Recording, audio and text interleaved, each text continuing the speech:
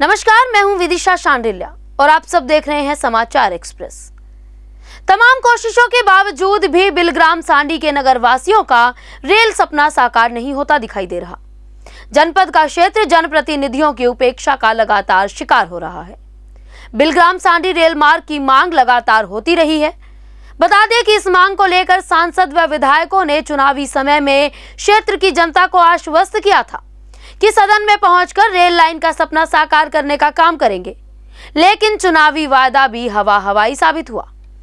यहाँ हम आपको बताते चले कि 15 नवंबर 1909 को माधवगंज बिलग्राम से लेकर सांडी तक रेल सेवा शुरू की गई थी, जो कई वर्षों तक सेवारत रही। उस समय बिलग्राम के निवासी डिप्टी कलेक्टर सैयद जाफ़र हुसैन को महसूस हुआ कि यहाँ पर भी जनता की सुविधाओं के लिए एक रेलवे स्टेशन होना चाहिए।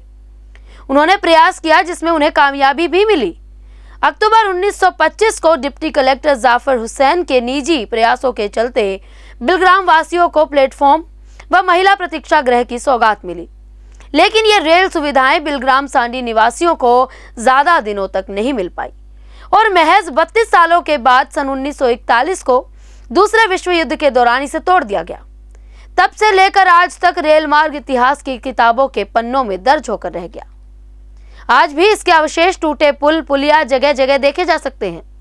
आपको बता दें कि 2007 से सांडी के समाज सेवी doctor Pankaj Madhavganj Sandi railway line को पुनः चालू करवाने के लिए संघर्ष कर रहे हैं। इस दौरान जगह जगह चक्का जाम और विरोध प्रदर्शन भी किए गए, लेकिन इसके बावजूद भी कोई निष्कर्ष नहीं निकल पा रहा है। यही नहीं, इसके लिए सैकड़ों ग्राम प्रधानों ने खून से लिखी पाती भी प्रधानमंत्री को भेजी। वह स्थानीय सांसद से भी कई बार गुहार लगाई, लेकिन कभी तक कामयाबी नहीं मिली। डॉक्टर पंकज का कहना है कि सांसद विधायकों को वहाँ की जनता ने चुना है।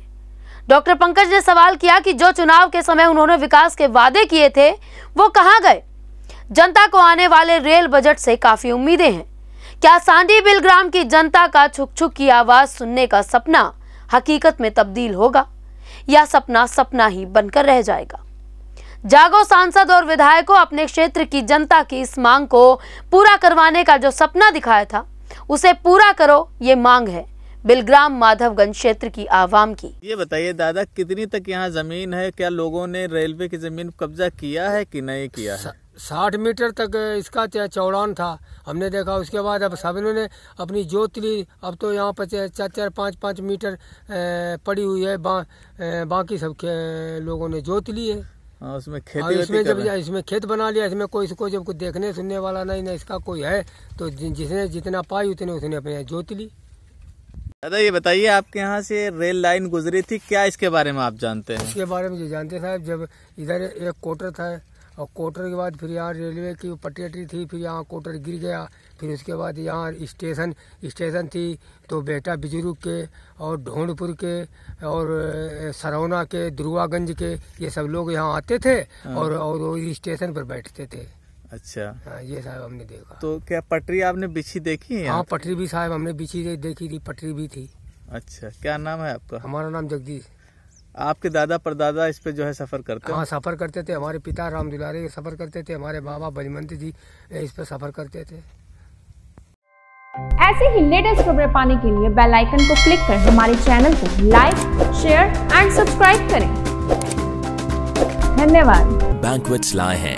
Incredible marriage palace Rajgharana and the finest banquet hall Jyoti Garden. World class catering, centrally air conditioned, lush green lawns, state of the art lighting. A perfect venue for wedding, launching and parties. Rajgharana and Jyoti Garden at JBD Banquets Enterprise.